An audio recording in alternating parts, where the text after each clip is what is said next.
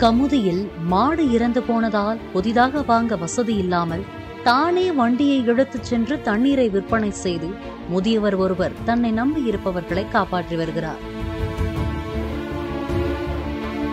ராமநாதபுரம் மாவட்டம் கமுதியைச் சேர்ந்த எழுபத்தோரு வயது முதியவர் முருகன்.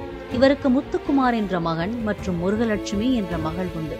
மகளுக்கு திருமணம் செய்து வைத்த நிலையில் முருகலட்சுமி கணவருடன் கருத்து வேறுபாடு காரணமாக பிரிந்து விட்டார் முருகலட்சுமி தன் இரண்டு மகன்களுடன் தற்போது தந்தை வீட்டில்தான் வாழ்ந்து வருகிறார்.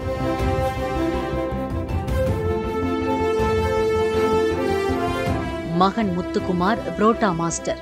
நாள் ஒன்றுக்கு ஆயிரம் ரூபாய் வீதம் சம்பாதித்து வரும் மகன் மனைவியுடன் தனியாக வசித்து வருகிறார்.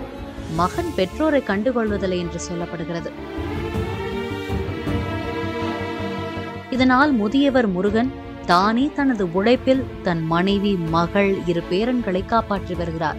மாட்டு வண்டி கொண்டு தண்ணீர் விற்பனை செய்து அதில் வந்த வருவாயில் குடும்பத்தை காப்பாற்றி வந்தார். இதற்கு இடையே அவருக்கு உதவியாக இருந்த மாடும் இறந்து போனது. வறுமையில் உழன்ற முருகனுக்கு புதியதாக மாடு வாங்க பணம் இல்லை தற்போது மாடுகளுக்கு பதிலாக அவரே வண்டியை இழுத்துச் சென்று தண்ணீர் ஊற்றுகிறார். அதில் கிடைக்கும் வருவாயில் தன்னை நம்பியிருக்கும் ஜீவன்களை காப்பாற்றி வருகிறார். வெயில் காலத்தில் கோடையின் தாக்கம் அதிகமாக இருந்தாலும் தள்ளாத வயதிலும் முருகன் தன்னை நம்பியிருக்கும் ஜீவன்களை காப்பாற்ற வாழ்க்கை போராட்டம் நடத்தி வருகிறார்.